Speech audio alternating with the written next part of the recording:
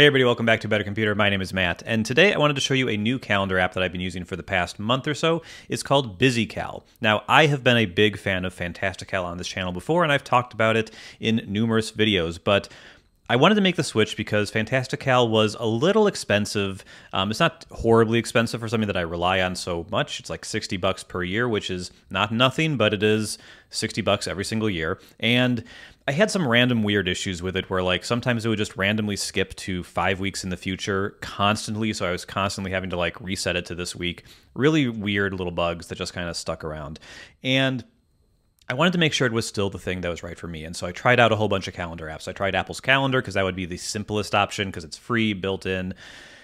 But I really do I really continue to have sync issues with Apple Calendar. I don't understand why it's so bad after all these years. I was missing calendar events that had been scheduled and just never showed up in the app for me. I was showing up to events that had been canceled hours previous because the app just hadn't synced in the last like 3 hours super super frustrating really impacted how i was able to get my work done and i wanted to try some other stuff so BusyCal is the one I landed on. BusyCal is paid upfront, so you pay for it once, uh, and then you just get to use it forever, presumably until they stop supporting it. But it's been around for years, and yeah, it's pretty good. I would describe this as the calendar app for people who want something fast, reliable, and customizable. Customizes, customization is definitely the big thing here. And yeah, let's just get out of the talking head, segment and look at the screen share. Okay, so this is BusyCal's website, and you can kind of see what they advertise here. Um, we'll get the pricing out of the way first. On the Mac, it is a one-time $50 purchase with a 30-day free trial if you want. It's also included in Setapp if you're using that. I'm not. I like to just buy my apps if I can. And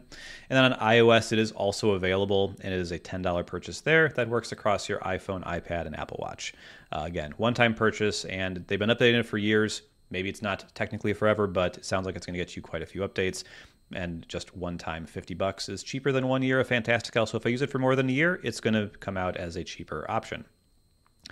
They advertise a ton of features on their website, but they start with unlimited features, or at least very close to it. And yeah, that's basically my impression as well. There are tons of customizations here. We're not going to go super deep on it, just wanted to kind of call this app out as a nice option for people who want a reliable, fast calendar app that maybe doesn't have a subscription, or maybe is a little different or works a little different than what they're used to.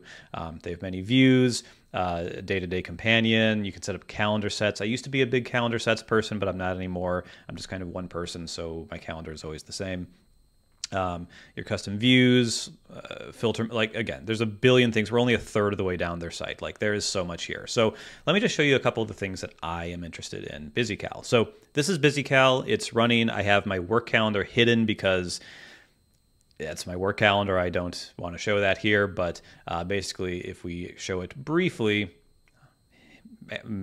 blocked with all, all the all the info blocked. But I have quite a few calendar events on my uh, calendar, and I basically need to know when things happen. I need to know when things change.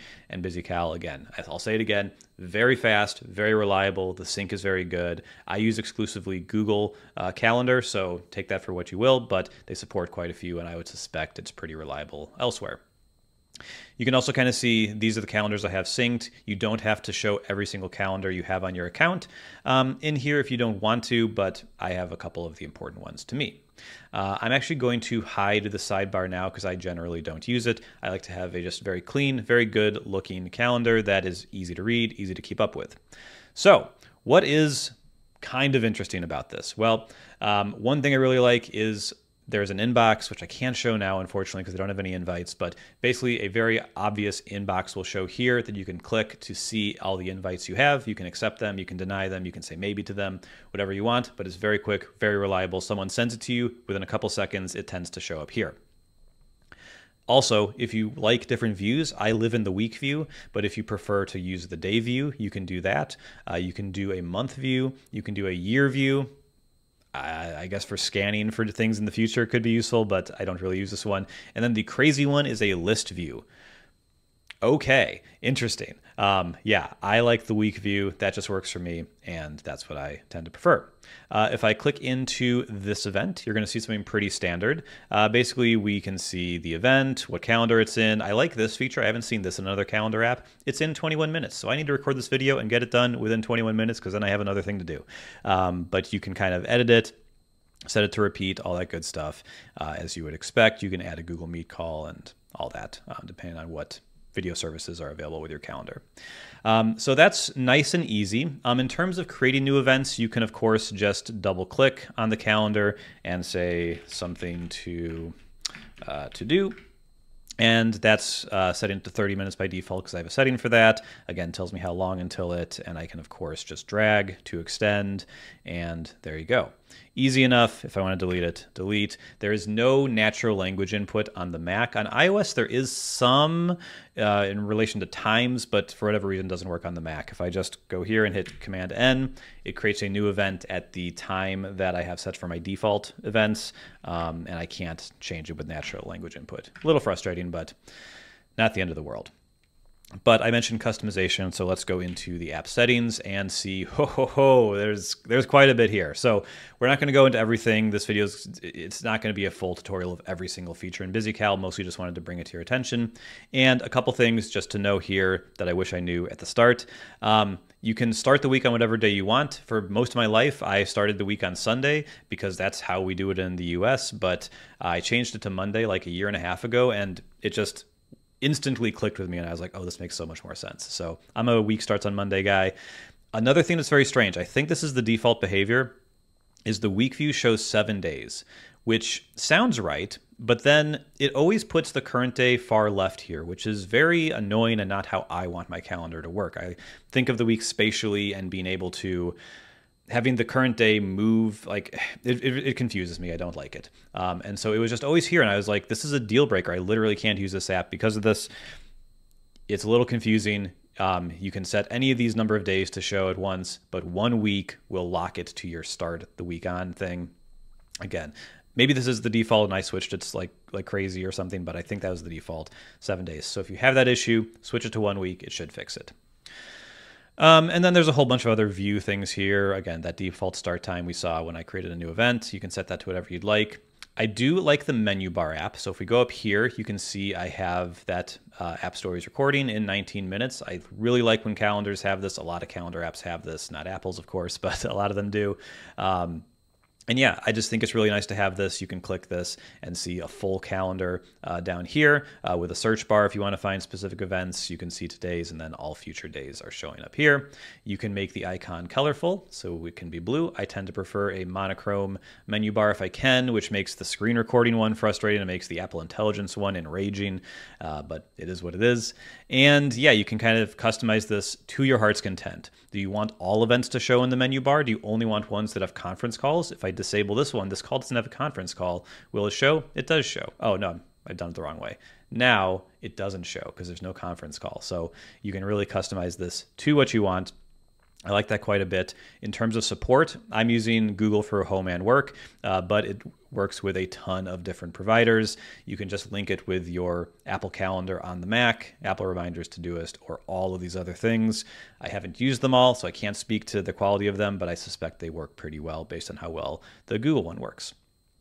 You can link Apple Reminders to this to show tasks in here and manage Things. You can also just create tasks in BusyCal. I don't do that. I use things for my task management, but yeah.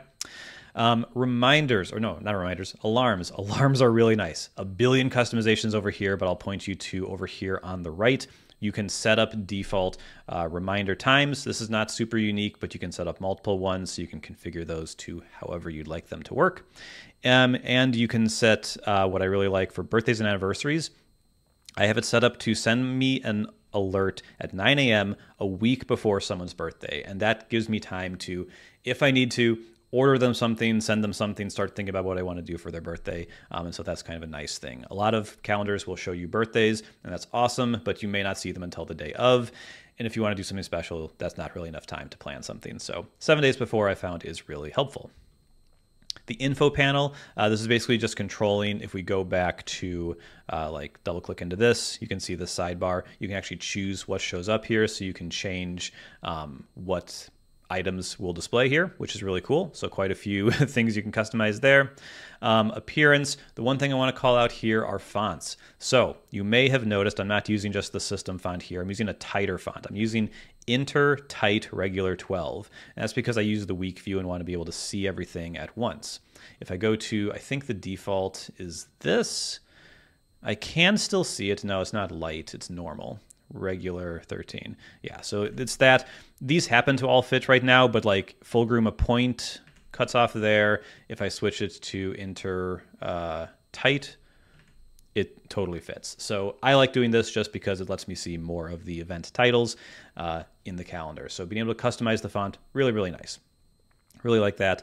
Um, weather, of course, is pretty standard in calendar apps these days. You can give it your location and have the calendar show up. It does not do any sort of like cloud backup. It just does a local backup, and you can just restore um, if you want. I've never had to do this, and my calendars all sync with Google, so I just sign into Google again, and it's fine. I'll change my local settings however I want. And that's pretty much it. There's some other settings here, but nothing really worth talking about. But yeah, if you need a super fast, super reliable, and not the most beautiful, but totally competent uh, calendar app. I think BusyCal is worth a look. Uh, and right on cue, uh, the custom notifications that it supports are here. Um, and basically, uh, you can use Mac OS notifications, but I like these default ones that it does, or these special ones it does, I should say, where it shows you the thing. If there was a video call, I could join the video call from here. And I like that I can snooze. So it's in 15 minutes. Let's snooze it by 15 minutes to make sure I get an alert at the moment that event starts, and then I can join right on time to be right on time for the podcast. So that's it for me today. Thank you so much for watching. Bye bye.